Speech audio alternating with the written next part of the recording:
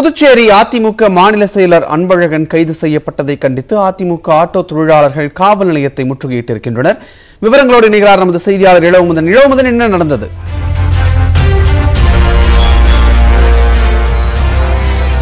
அதிமுக மாநில செயலாளர் முன்னெச்சரிக்கை நடவடிக்கையாக கைது செய்யப்பட்டார். அதாவது மாநில அந்தஸ்துக்கான கோரிக்கை வலியுறுத்தி நடைபெறும் பந்து காரணமாக அதிமுகவினர் போராட்டத்தில் ஈடுபடக்கூடாது என்பதற்காகவும் வன்முறைகளை தவிர்க்கும் விதமாக தான் மாநில செயலாளர் முதலில் கைது செய்யப்பட்டார்.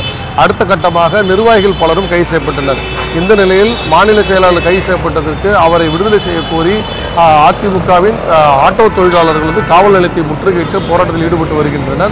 இதன் ஒரு பகுதியாக ஒரு தொ- குறிப்பிட்டவர்கள் அருகில் உள்ள கா பேருந்து இது பெட்ரோல் போடும் நிலையத்திற்கு வந்திருக்கிறார்கள்.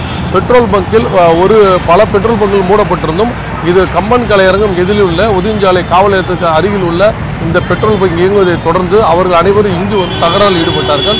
போராட்டத்தை பந்த் போராட்டம் நடைபெறும் நேரத்தில் எதுக்கு பெட்ரோல் பங்கு நடத்த வேண்டும் என்று அவர்கள் கோஷம் எழுப்பினார்கள் மேலும் இங்கிருந்த பேரல்களை தள்ளி அவர்களை பதற்றத்தை ஏற்படுத்தியதை தொடர்ந்து இந்த பெட்ரோல் பங்க் தற்பொழுது மூடப்பட்டு வருகிறது. இருப்பினும் வந்து போலீஸ் வந்து இங்கே வந்து தற்போது நிறுத்தப்பட்டிருக்கிறார்கள். போலீஸ் வந்து பாதுகாப்பு கொடுக்க உறுதி அளித்தாலும் இவர்கள் இந்த போராட்டத்தின் காரணமாக பெட்ரோல் பங்கை நடத்த மாட்டோம் என பெட்ரோல் பங்கை மூடி வருகிறார்கள். அதே நேரத்தில் அங்கு போராட்டத்தில் ஈடுபடும் அதிமுகவின் ஆட்டோ தொழிலாளர்களை போலீசார் வந்து வலுக்கட்டாயமாக அங்கிருந்து கைது செய்து கொண்டு சென்றிருக்கிறார்கள். இதில் ஐம்பது பேர் கைது செய்யப்பட்டிருக்கிறார்கள். இன்னும் நகரத்தை பொறுத்தவரை பெருமளவிலான நிறுவனங்கள் வணிக நிறுவனம் எதுவும் திறக்கப்படவில்லை. பேருந்துகளை பொறுத்தவரை அரசு பேருந்துகள் மட்டுமே குறைந்த அளவில் இயக்கப்படுகின்றன.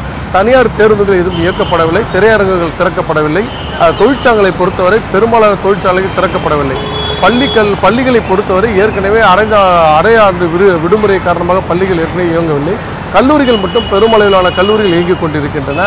ஒட்டுமொத்தமாக பார்க்கும்போது இந்த பந்த் என்பது மக்களுடைய இயல்பு வாழ்க்கையை பாதித்திருக்கிறது விஷ்ணு.